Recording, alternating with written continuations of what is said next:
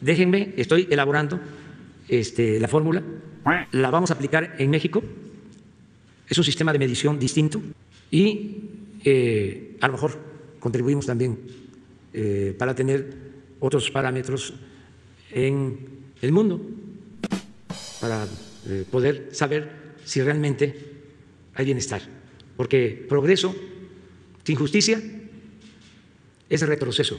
No se trata nada más de eh, acumular riqueza, y menos si se trata de acumular riqueza en pocas manos. Es importante la distribución del ingreso, la distribución de la riqueza, es decir, el bienestar. Entonces, es un aporte que vamos a hacer.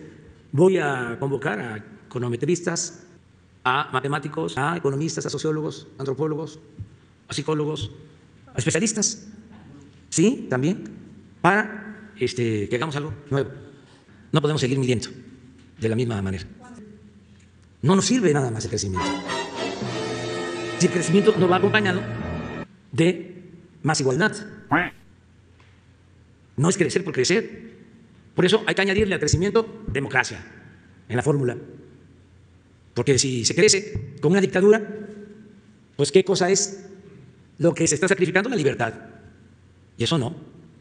Tiene que haber crecimiento con honestidad, crecimiento con austeridad, crecimiento con bienestar, crecimiento con cultura, crecimiento con felicidad.